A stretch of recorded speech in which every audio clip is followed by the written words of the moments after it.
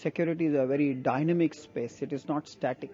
You cannot say, I have secured this and that is it. I don't have to worry about it later on. It's more like master healthcare, which you repeat on an annual basis. You go and check your body, whether you're healthy, whether your vital parameters are fine. On similar basis, uh, security in an enterprise should be regularly checked, watched, monitored, and necessary corrective action taken and that's where we call it as a vulnerability assessment. Vulnerability assessment is to find out how uh, strong the system is or what are the weaknesses in the system and how somebody can take advantage of these weaknesses and uh, exploit the system. We have protective devices, uh, defensive devices like firewalls, antivirus, anti-spam, and other uh, intruder detection system and intruder. These systems have to be monitored continuously, regularly to see they are operational, they are doing their jobs as per design, and in case something is not working, an alert mechanism is issued. All of these systems generate logs. Logs are activities that take place through the system. One may have to intelligently analyze, that means correlate activities to find out whether somebody is taking advantage of a loophole in the system and be able to alert. Now, to do to this kind of uh, log analysis that is humanly not possible. You can't have a security expert sitting and looking at the logs and saying this is what is happening. So today you have sophisticated tools which do this online analysis and shortlist. Okay, this looks like something is going wrong. Hey, take a look.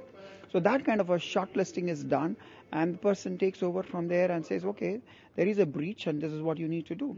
There can be multiple types of uh, attacks. One, uh, if it's a financial institution, I will uh, perhaps see how I can get uh, the identity, I can use an identity theft attack. I'll try and steal the identities of users, use this identity and go and withdraw money or transfer money. This happened recently even in India you need to be careful and have your antivirus updated regularly so ensure that you're not allowing some uh, unidentified software to be running on your system. There are some tools like NetForensics, Arc Monitor, and uh, these these tools, ArcSight, these tools help you do correlation of activities. Correlation of activities is basically looking at the logs of one security device, looking at the logs of another security device, and seeing whether there's a pattern, whether a particular attack is coming from a specific IP, and if it's coming from a specific IP IP address, then you're able to find out okay this IP address belongs to this part of the world and then zeroing on further and finding out whether there's a, a pattern like that and see how you can set up your defenses. It's like your uh, master health checkup. When you do your master health checkup and somebody says, hey buddy, your cholesterols are high, your uh, blood pressure is not normal, we suggest you go on a diet and you follow a regular exercise pattern. Now that's an alert. Now on, when you're having an online monitoring system, this is the kind of alert you can get. Looks like there is a break-in maybe then you immediately take uh, records and go and fix the firewall or fix the IDS or fix the necessary security tool that is in place. Generally, defense in depth is a method of having multiple lines of defense. It could be one firewall and then further another firewall. It's typically you separate your various application zones into two kinds of zones. Maybe you have a demilitarized zone and you have a militarized zone, and you ensure that uh, the access to the militarized zone comes only from specific computers or specific IP addresses. This can, these kind of things can be achieved using uh, multiple firewalls. But on the contrary, if you look at viruses, that's a very interesting area where defense in depth can be practiced. Now, you have various kinds of virus manufacturers. Now, the way viruses are trapped uh, involves um, a signature. A signature is generated. I mean, basically, it's a blacklisting model that many people follow.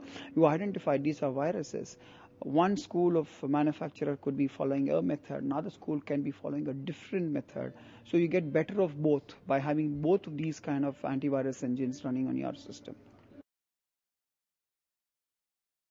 Accountability is, uh, I believe, accountability is the single most important thing on the online transactions uh, in the in the uh, physical world, wherever we transact on paper, we are the the relying party. It could be the bank, which ensures that your signatures are there and they are as per their records. And any change or mutation you carry out on a piece of paper, they ensure that you endorse it by another signature. Whereas this is not there in the online transactions. In the online transactions, you can transfer money from your account to another account by just giving a password. The password does not really bind you to the transaction. Password is another bit of data. That is where digital signatures play a very important role. By using digital signatures, you can hold the person responsible for the act. That's what we call technically non-repudiation or accountable in simple terms. You hold the person who carried out the act accountable for what he did. It also authenticates him and he cannot deny tomorrow that I didn't do that. And this is of great significance in the financial transactions.